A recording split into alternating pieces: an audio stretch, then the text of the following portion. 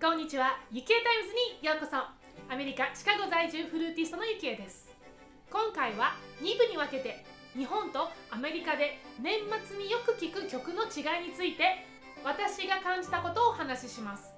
また実際にその曲を演奏いたしますのでどうぞ最後までご覧くださいませ。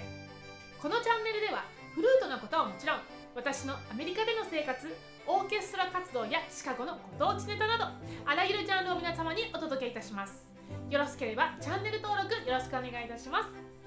さて第1部ではアメリカでよく聴く年末の曲です。ご存知の方も多いと思いますがアメリカではお正月よりクリスマスの方が大きいイベントです。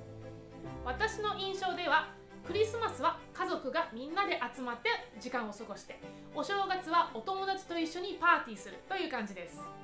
さて私がアメリカに来てから年末によく聴く曲といったらチャイコフスキーのくるみ割り人形です。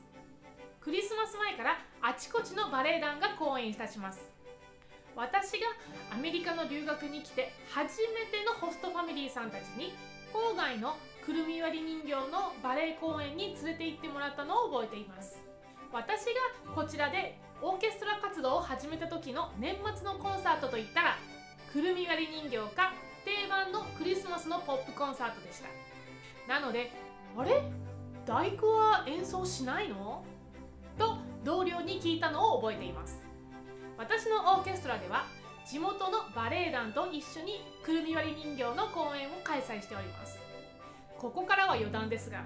ある日のリハーサル私はリハーサルの前にコーヒーをガブ飲みしていました。そしてリハーサル中どうしてもトイレに行きたくなってしまいました。リハーサル中に席を立つなんてありえないと日本で叩き込まれていたのですっごく一生懸命我慢していました。しかしいつもよりリハーサルが少し長かったのともう冷や汗が出て限界だったのでとうとう席を立つことを決めました。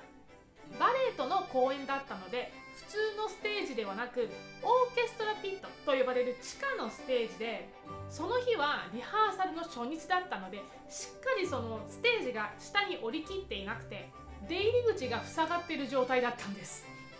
出られないと慌てふためきながらも辺りを見回してコントラバスの高い椅子が目に入りました。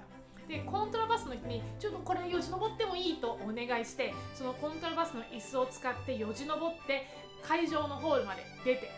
走ってトイレに行きました。そしてその一部始終を指揮者はすっごい変な顔でずっと見ていました。もうそれ以来トラウマです。そんなくるみ割り人形をフルート40層でお届けいたします。それではどうぞ。